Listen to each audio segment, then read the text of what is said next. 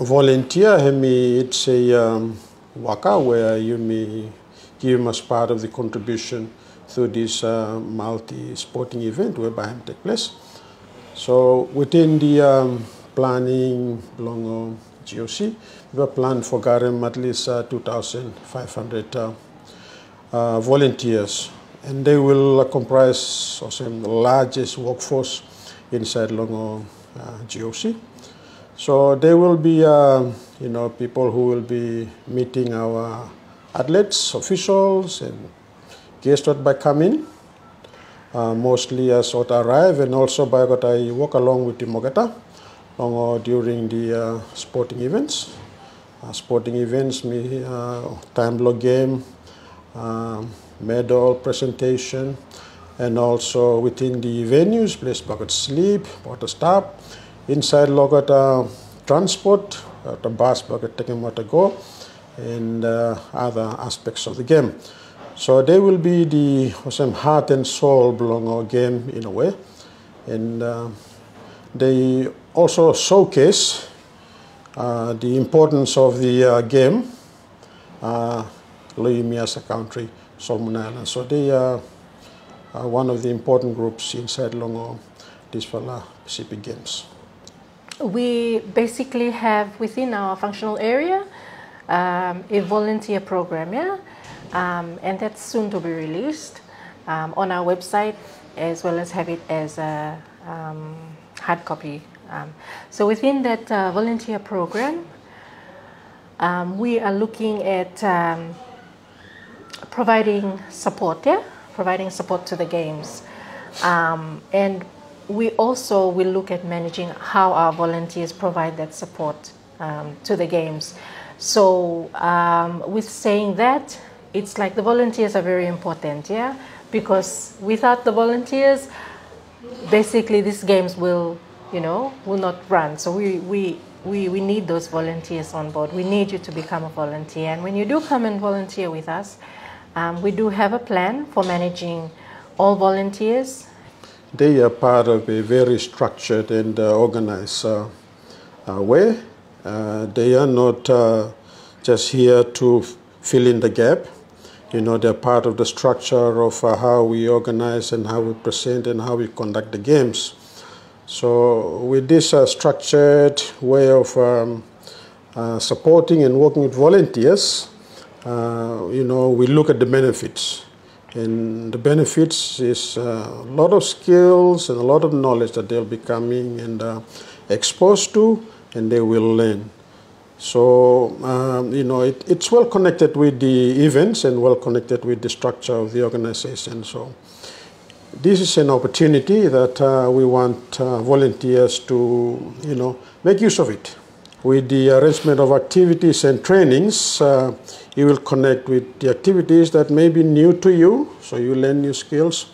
You'll be talking with people who have uh, experience already, so you learn from the experience. And you also learn from the mega activities, the major activities that are taking place. You will be there. And uh, you will be inspired as well, you know. Um, one of the biggest um, things that, of the legacy part of the volunteer program, is to get the volunteers to go through a training program, yeah?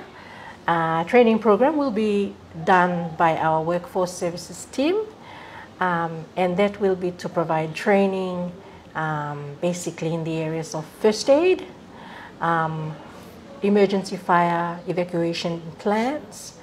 Um, we will also have um, occupational health and safety awareness training. Yeah, so that's part of um, what we will offer to our volunteers when they come on board. MIFA try for focus no more on what the long-term benefits um, that you will get out from volunteering. Yeah.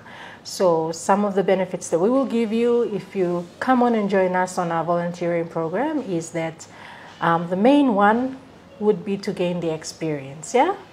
Um, this Salah event, yeah, um, as you know, we know um, currently Hand Big Fala event. And so it will bring a lot of experience, will bring a lot of events to it, a lot of um, new things that we will learn.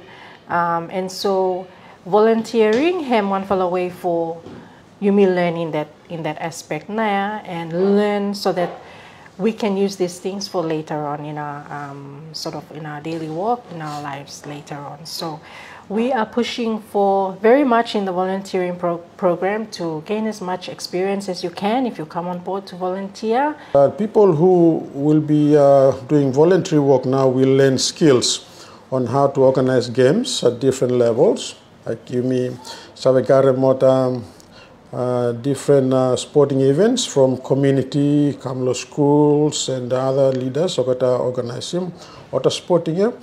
So if you know how to uh, work with the volunteer team now, you can uh, also use those same skills in organizing uh, local sporting events. Uh, soccer, for instance, in the village or here in town, and that goes to other sporting events. It's an opportunity for the young generation to learn at this time and then to uh, apply those uh, voluntary skills and knowledge in the rural communities, uh, especially during the um, uh, sporting events in the villages. I know that the quality belong sporting Los Solomon Islands is growing and a lot of young people are interested to get involved in these uh, sporting events uh, we stand to benefit more, especially with regard to local um, sporting events now and in the future. Uh, adding on to what I said previously, um, uh, our volunteers will not be paid. Um, we do not have any allowances for them, um, but um, it is confident to say that you know if this is something that's a national event um, and we as Solomon Islands are hosting it for the very first time, um, it is something that we should be proud of.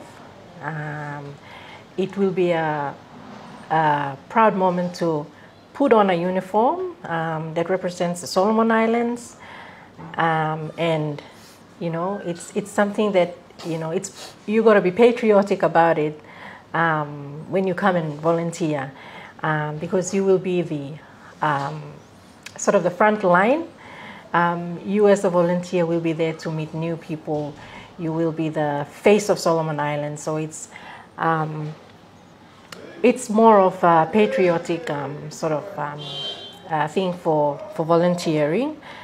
Um, and that has been sort of the legacy with um, what the past Pacific Games blew me that were held in different regions and different countries around the Pacific region. Um, that same legacy um, we will have here in Solomon Islands, yeah? Um, so we know that um, obviously we will not get paid um, as volunteers, um, but apart from that, legacy for volunteering is beyond you know, any form of payment, any form of allowance. We're really encouraging um, our local people uh, the people of Solomon Islands. This is an event that we should all be proud of. Um, this is our time to shine. Um, it's our country, we are hosting it. Let's be proud of it.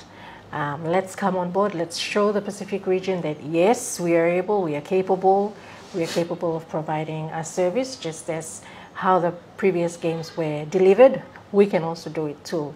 And um, I would encourage everyone else to um, not be sort of um, um, don't look at this as an uh, you know um, something that you might it might fade away from you. This is a once in a lifetime opportunity, whether you are young, whether you are unemployed, or you are seeking some form of experience, or you know it's all open to everyone. So. Um, I guess in that sense, you know, it's something that um, is open to the market. Um, and um, we welcome everyone to apply for uh, volunteering um, within the Games.